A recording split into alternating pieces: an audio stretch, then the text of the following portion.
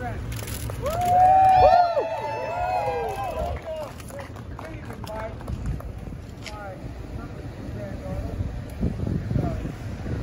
dad lived up there and we had to move.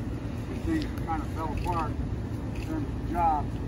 But I had a, my great-grandfather, Edward Francis Blewitt, was the first Irish Catholic elected to the state Senate in the state of Pennsylvania yes.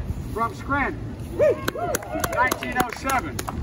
And uh, you know, uh, it's a long, long history, but uh, it's good to be home. And one of the things, I know everybody says, why do you keep calling home? Well, you know, I left here when I was going in the fourth grade, but I came home almost all summers, every summer. When I got married to my deceased wife, uh, my wedding party was seven people. Five were my five were my friends from Scranton that I grew up with. And so moved down to Delaware. And say, Joey, a job is about a lot more than a paycheck. It's about your dignity. It's about respect. It's about your place in the community. It's about who you are. It's about being able to look your kid in the eye and say, honey, it's going to be okay. Well, guess what? An awful lot of people can't say that now.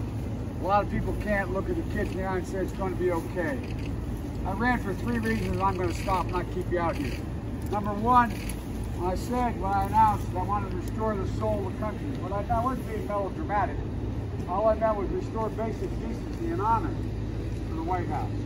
When I saw those folks come out of those fields down in Charlottesville, carrying those torches, and, and if you close your eyes and remember what you saw, their veins bulging, preaching hate, carrying Nazi flags, talking about how, in fact, uh, we're, this country is so so bad, the prejudice in the that's when I decided I had to run. You know, the middle class built this country. Wall Street didn't build it, the middle class built it. And unions built the middle class. And they're getting clobbered right now. They're getting clobbered. The third reason I'm running is what I want to talk upbeat about today, and that is uniting this country. We have to. Yeah! We can do it. All right, Joe!